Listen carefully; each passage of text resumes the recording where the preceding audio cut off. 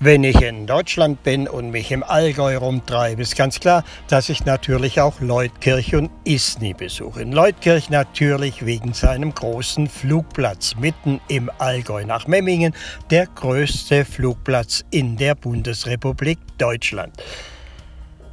Der Flugplatz ist ein kleiner Verein, aber er ist heimelig. Ich fühle mich wohl hier und das Kaffee ist nett und die Besitzerin oder die Pächterin natürlich auch. Deshalb habe ich einen Kaffee getrunken und werde nachher mit einem Freund einen kleinen Rundflug machen. Das Fliegen in Leukirch ist gar nicht so einfach, wie es aussieht. Nicht vom Können her, sondern von den Starterlaubnissen her. Denn die Landwirte sind gegen die Flieger hier und ab und zu passiert es eben, dass die Rollbahn von Traktorfahrern blockiert wird. Ob es heute heute so ist, werden wir gleich erleben. Wir rollen nun mal los und wir sehen auch schon, dass der erste Landwirt zum Traktor flitzt und die Landebahn jetzt auch in wenigen Sekunden blockieren wird.